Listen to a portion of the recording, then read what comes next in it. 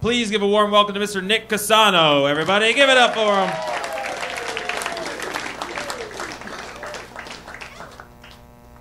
Guys, bear with me for just one second while I set this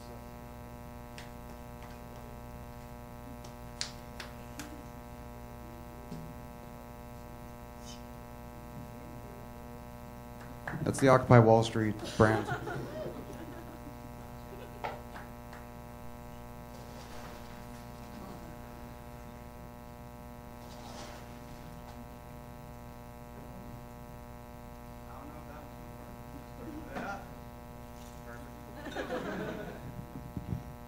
How's everybody doing tonight?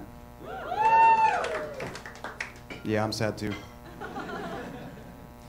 Yeah, I'm sad. I just recently learned out that I was the uh, second choice for every woman who already has her first. When it comes to uh, if all eligible men were sodas, I'd be Sam's choice.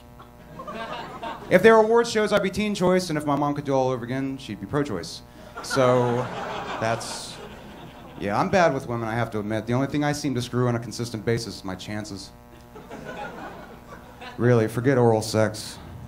I even remember what oral sex feels like. Last time someone went down on me, it was my self esteem.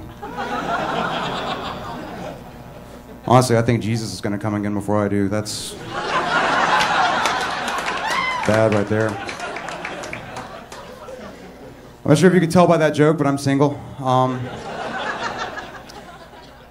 some friends try to recommend eHarmony to me, but I can't get down with eHarmony because eventually you're going to have to tell someone else how you met. And it's not going to be a normal story, you know? It's not going to be one of those, oh, we met at a party. We saw each other across a crowded room. She came over and we danced. Like white people, apparently.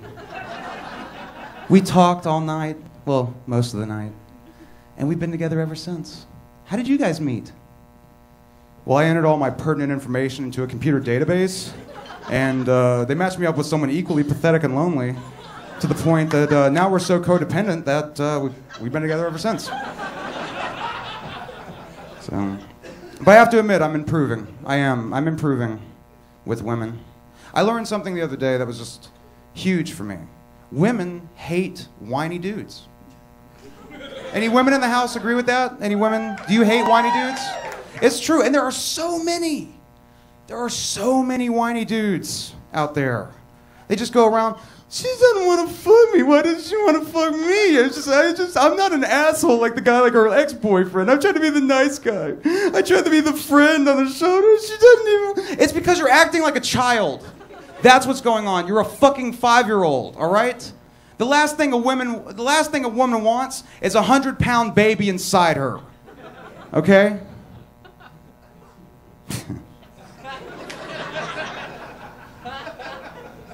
It worked better in my head.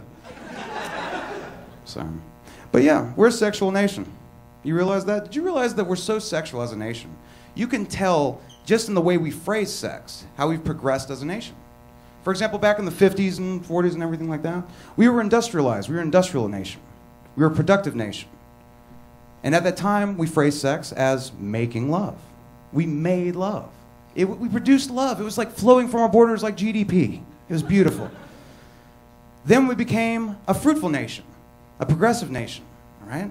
And we phrased, we were having sex. That's what we were all doing. We were having sex. Sex was everywhere. You just go around, yeah, here, have some sex. Here's, here, hey man, have some sex. Hey, you, you want some sex? Here, have some. Don't give it back to me. I'm not gay. What are you doing? Jeez.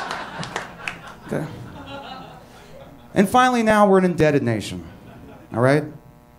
We're an indebted nation. We're an untrustworthy nation. Now we're all just getting fucked. Every single one of us is getting fucked. I heard a horrible story the other night. Another night, I heard about 60 some odd people that were trapped in a room hearing some guy talk about how bad he is with women. Paid $10 cover to do so. talk about getting fucked. Thank you guys so much. I'm Nick Cassano. Yeah.